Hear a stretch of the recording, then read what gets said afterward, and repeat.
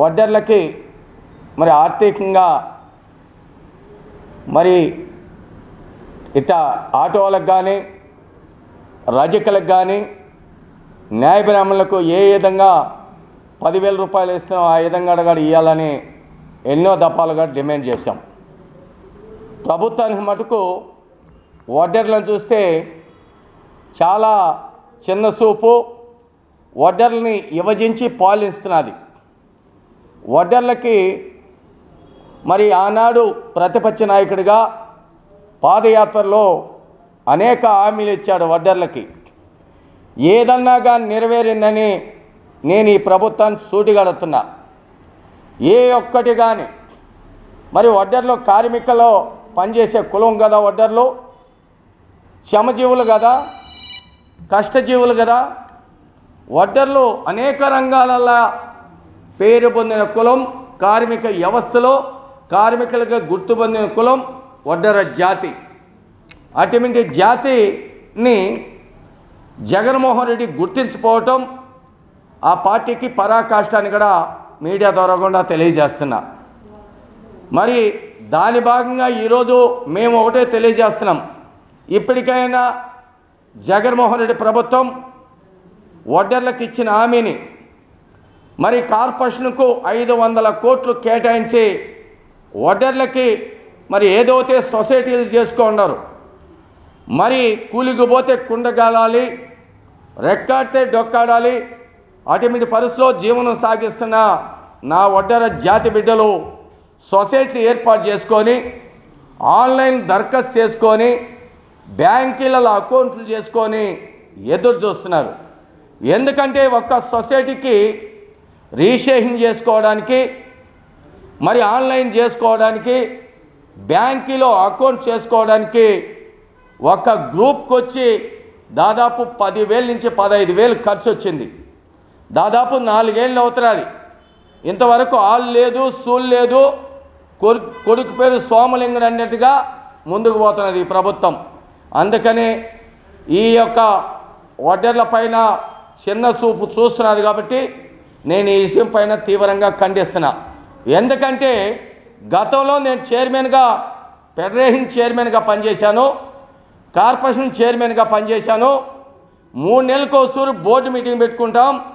Board మీటింగ్లో ఏ జిల్లాలో ఏ మండలాల్లో ఎన్ని సొసైటీలు రిజిస్ట్రేషన్ అయినాయి ఎన్ని సొసైటీలు ఆన్లైన్ చేసుకున్నారు ఎంతమంది బ్యాంకులో అకౌంట్ చేసుకున్నారని మరి అన్నీ కూడా మరి వెరిఫికేషన్ చేసుకొని నివేదిక తెప్పించుకొని ఈ జిల్లాకు ఇన్ని గ్రూపులు ఇవ్వాలి ఈ మండలానికి ఇన్ని గ్రూపులు ఇవ్వాలి ఈ పంచాయతీకి ఇన్ని గ్రూపులు ఇవ్వాలని అవన్నీ కూడా అవగాహనతో మరి ఆ రోజు నివేదిక తెప్పించుకొని ఆ గ్రామాలకి న్యాయం చేశాం. అప్పుడు తెలుగుదేశం ప్రభుత్వం ఉన్నప్పుడు నూట ముప్పై రెండు కోట్లు మరి ఈ రాష్ట్ర వడ్డర్ల జాతికి కేటాయించిన ఘనత తెలుగుదేశం పార్టీది నారా చంద్రబాబు నాయుడుది. దాంట్లో దాదాపు ఈరోజు కూడా ఎవరు అడిగినా రాష్ట్ర పార్టీ బీసీ కార్పొరేషన్కి వడ్డెర ఫెడరేషన్కి పోతే సంక్షేమ భవనానికి ఎన్ని గ్రూపులకు డబ్బులు ఇచ్చింది సబ్సిడీ అనేది కూడా మీకు నివేదిస్తుంది. నేను మాటలు చెప్పేది కాదు మీరు కనుక్కోండి అని కూడా మరి మీడియా ద్వారా కూడా మా జాతి బిడ్డలకు అందరికీ తెలియజేస్తున్నాం. ఆ రోజు లక్ష రూపాయలు సబ్సిడీ ఇచ్చాం లక్ష రూపాయలు లోన్ ఇచ్చాం. ఎంతోమందికి జేసీపీలు ఇచ్చాం ఎంతోమందికి టిప్పర్లు ఇచ్చాం ఎంతోమంది మిల్లర్లు ఇచ్చాం ఎంతోమంది సీట్ సెంటరింగ్ ఇచ్చాం ఎంతోమందికి పనిముట్లు ఇచ్చాం ఎంతోమందికి యంత్రాలు ఇచ్చాం అదేవిధంగా కుట్టు మిషన్లు ఇచ్చాం. మరి అనేక రకాలుగా ఆ కులాలకి ఏం కావాలన్నా ఆ విధంగా ఆ రోజు తెలుగుదేశం పార్టీ అవకాశం కల్పించింది. ఆదరణ పథకం కింద పనిముట్లు ఇచ్చాం. మరి చంద్రన్న బీమా ఇచ్చాం కార్మిక బీమా ఇచ్చాం అన్ని రకాలుగా వడ్డర్లు ఆదుకున్నాం. మరి ఆ విధంగా ఆదుకునింది తెలుగుదేశం పార్టీ నారా చంద్రబాబు నాయుడు. ఈరోజు నాలుగేళ్ళలో ఒక్క రూపాయి ఇచ్చారా? మరి ఎవరైనా నిరూపించగలుగుతారా? నేను ఎక్కడికైనా సరే నాదిక్కడ ఆ ప్రభుత్వంలో ఐదు జీవోలు తెచ్చాను. Federation corporation చేపించాం. వడ్డల్ని ఎస్టీలో చేర్చాలని సత్యపాల కమిటీ చేపించాం. జీవో నూట డెబ్బై మూడు తెచ్చాం. మరి బీసీ ఎల్పీ కమిటీ వేసాం మరి ఈ సొసైటీలలో ఇద్దరు తీసుకొచ్చి విధంగా ఆ రోజు తీసుకొచ్చి ఎంతోమంది నిరుపేదలకి అంతో ఉడతబట్టుగా ఆ రోజు ప్రభుత్వం వడ్డర్ల అభివృద్ధి కోసం నిధులు కేటాయించింది. ఈ ప్రభుత్వం వచ్చిన తర్వాత ఎస్టీలో చేర్పిస్తానని రోజు చెప్పాడు ఈరోజు సత్యపాల కమిటీ నూట డెబ్బై మూడు ఉంది. ఈరోజు ఎటువంటి పరిస్థితుల్లో దాని మీద ఏది కానీ ఇష్యూగా తీసుకోవాలా? దాని మీద ఎక్కడ కానీ చర్చ జరపలా. దాని మీద ఎక్కడ కానీ నేను చేస్తానని జగన్మోహన్ రెడ్డి ఎప్పుడు చెప్పలా. దాని భాగంగా ఈరోజు మరి ఈరోజు ఈ కా ఈ యొక్క ప్రెస్ మీట్ ద్వారా కూడా కొంతమంది వడ్డర జాతికి నాయకులు తెలియజేస్తున్నారు నిన్న మొన్న కొంతమంది ఆడాడ మీటింగ్లు పెడుతున్నారు. మీరు ఆ మీటింగ్లు ఎందుకు పెడుతున్నారని నేను సూటిగడుతున్నా ఈరోజు నిరుద్యోగులుగా మిగిలిపోతున్నారు. ఈరోజు ఎంతోమంది ఉపాధి లేకుండా పక్క రాష్ట్రకి వెళ్తున్నారు. మరి ఎంతోమంది ఇబ్బందిగా ప్రమాదాలతో గురైనా ఎన్నో ఇబ్బందులు ఎదుర్కొన్నా కొండల్లో రాళ్ళు కొట్టనీయకుండా మరి ఎక్కడన్నా పని చేసిన డబ్బులు ఇవ్వకుండా ఎగరగొడతా ఉన్నప్పుడు ఈ నాయకులంతా ఎక్కడ పోయినారు? ఈరోజు నేనేదైతే రెండు వేల ఇరవై ఒకటి తెలుగుదేశం పార్టీ జాతీయ అధ్యక్షుడు మా నాయకుడి దగ్గరికి పోయి మా కులానికి రాష్ట్రంలో ఎనభై శాతం తెలుగుదేశం పార్టీలోనే ఉండారు. మరి పార్టీలో పదవులు కేటాయించండి సార్. పార్టీలో చురుగ్గా పనిచేస్తారు.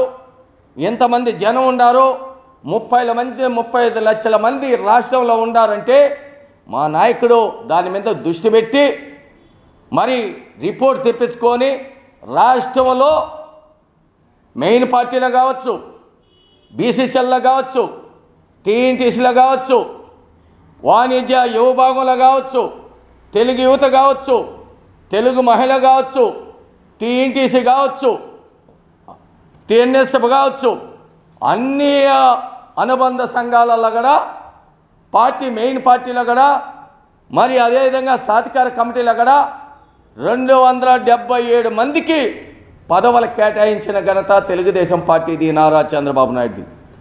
అంతేకాకుండా పార్టీలో ఇంతవరకు అసెంబ్లీలో అడుగుపెట్టలేదు సార్ మేము పార్లమెంట్లో అడుగుపెట్టలేదు శాసనమండలి అడుగుపెట్టలేదు రాజ్యసభలో అడుగుపెట్టలేదంటే మా నాయకుడు యువ నాయకుడు నారా లోకేష్ బాబు గారు హైదరాబాద్ పిలిపించుకొని అన్న మీ యొక్క కులం రిపోర్టు మీ జనాభా రిపోర్టు ఎంత జనం ఉండారు ఎంత శాతం ఉండారని రిపోర్ట్ తెప్పించుకున్నా ఈరోజు ఈ తడవ మీ వడ్డర జాతిని చట్టసభల్లో అడుగుపెట్టిస్తా అసెంబ్లీలో అడుగుపెట్టిస్తా శాసన మండలిలో అడుగుపెట్టిస్తా రాజ్యసభలో అడుగుపెట్టిస్తా పార్లమెంట్లో అడుగుపెట్టిస్తా మీ వాణిని మీ ఓళ మీ గలాని అసెంబ్లీలో మాట్లాడడానికి నేను బాధ్యత తీసుకొని అని భరోసా ఇచ్చిన ఏకైక నాయకుడు మా నాయకుడు నారా లోకేష్ బాబు గారు.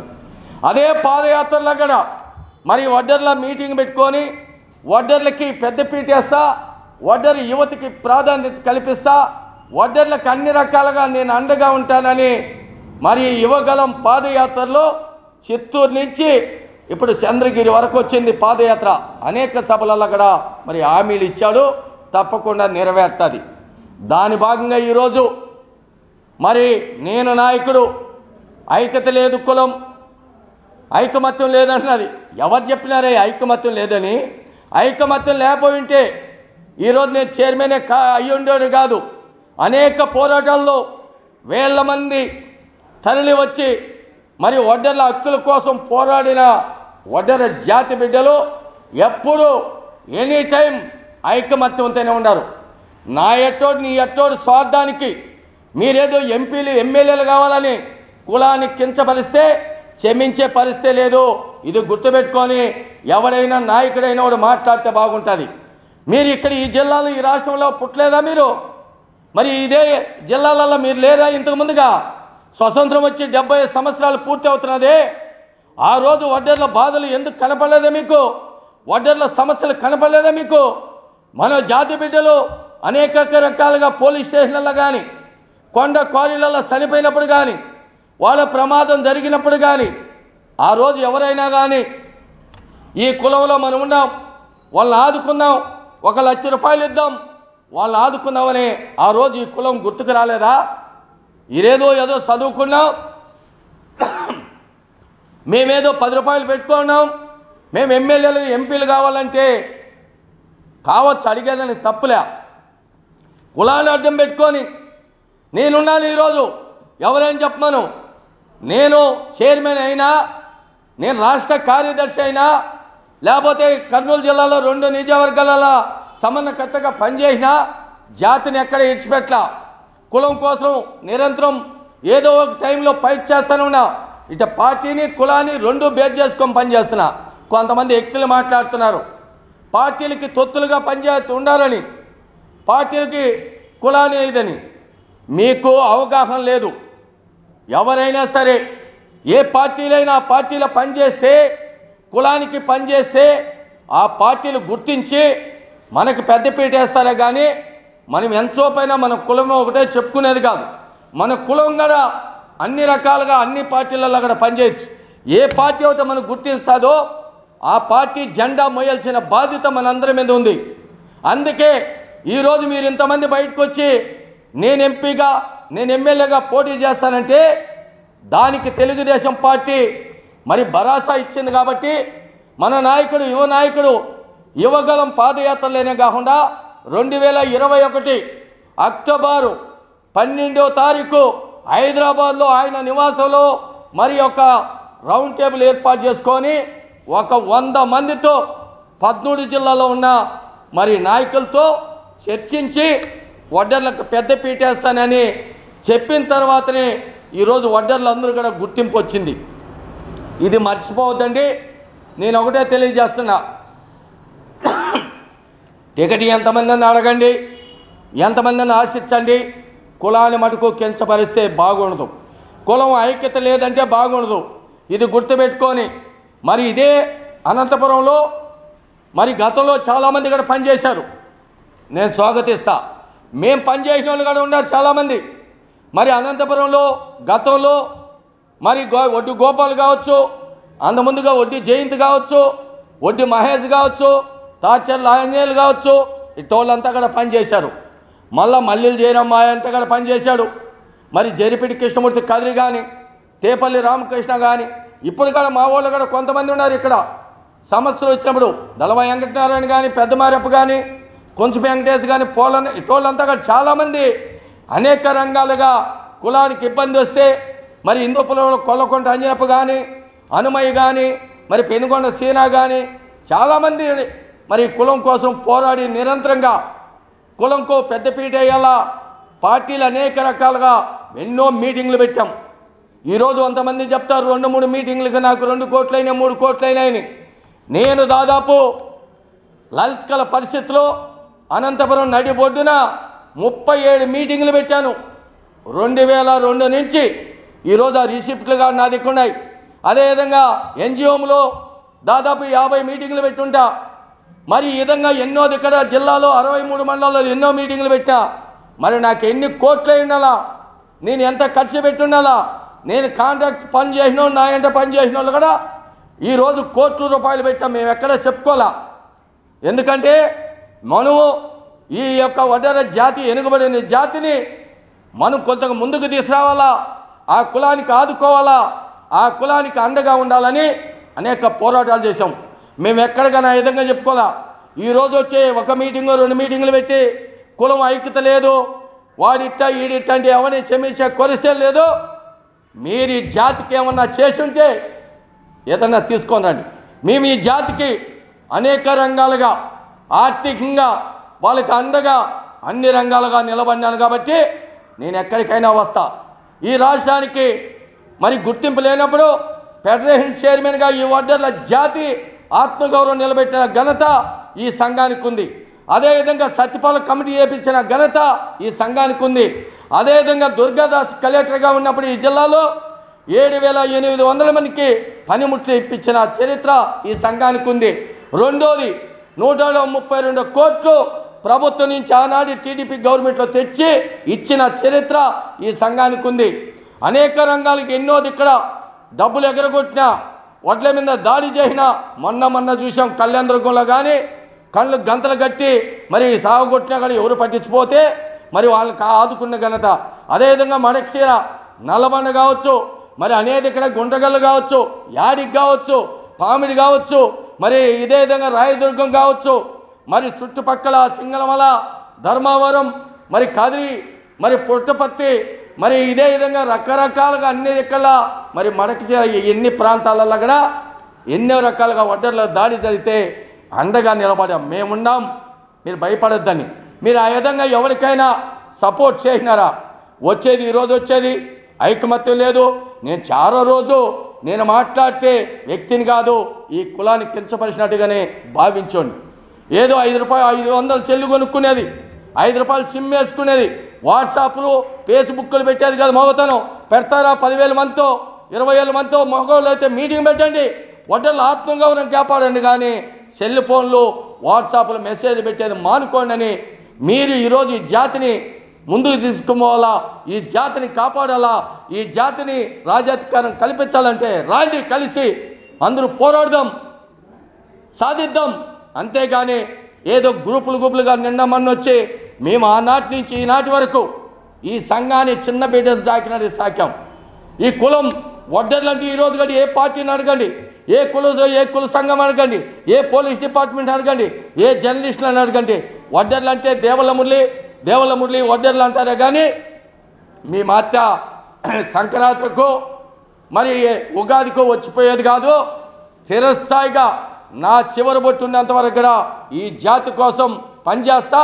ఈ జాతి కోసం అంకిత భవనంతో ఉంటానని కూడా మీడియా ద్వారా కూడా తెలియజేస్తూ మరి ఒక్కసారి జగన్మోహన్ రెడ్డి ప్రభుత్వాన్ని జరగబోయే అసెంబ్లీలో ఏదైతే వడ్డర్లు ఎస్టీలో చేర్చాలనే సత్యపాల కమిటీ జీవోని అసెంబ్లీలో తీర్మానం చేసి కేంద్రాన్ని పంపించాలని కూడా మరి ఒక్కసారి డిమాండ్ చేస్తున్నాం.